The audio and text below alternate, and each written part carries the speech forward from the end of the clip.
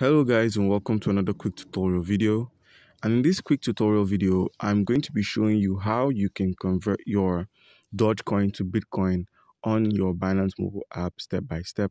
First step being that you've already opened up Binance so the next step is to simply click on this convert right here. Once you've clicked, it, clicked on convert you simply select Dogecoin from Dogecoin to Bitcoin. So once you click on max and you click on preview conversion, we're going to be receiving 0.000341 with no fees and you click on convert again. And now once the trade is confirmed, we can move on into other uh, transactions similar to this.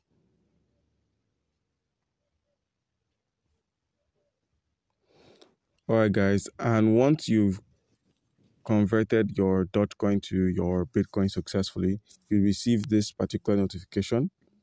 So you simply click on back home and now if you were to head over to your wallet, scroll to spots, you'd see we have our BTC currently available. Alright guys, comment down below if you have any questions concerning how you can convert your Dogecoin to Bitcoin on your Binance Mobile and you'll be given an answer. Thank you.